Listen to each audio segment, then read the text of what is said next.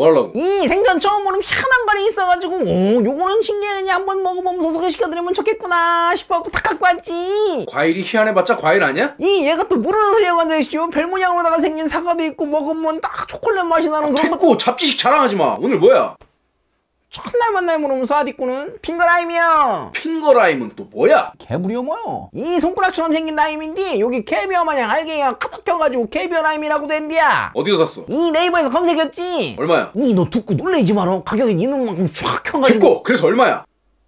100g 19,900원 100g 몇 개나 들었는데? 한놈 두식이 이거 이렇게 다섯 개 들었네 너 제정신이냐? 그걸 그 돈 주고 사와? 이안 먹어봤으니까 호기심이 가고 신기한 걸 봤으면 마땅히 촬영을 한번 해줘 됐고 잘했어. 특징이 뭐야?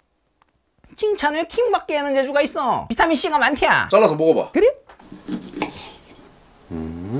알갱이도 많은데 그만큼 씨도 많이 들었는데 아유 이거 씨발라 먹어야겠네 맛은 어때?